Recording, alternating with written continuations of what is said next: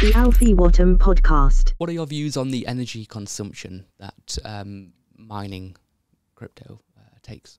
Uh, if done right, incredibly low. So um, when I said in the white paper CPU power, Yeah. it's not just ASICs running the hash problem. Mm. Section 5 covers a number of sections. Now, if you do all of those and you have large blocks, then the cost per transaction is remarkably low. Mm.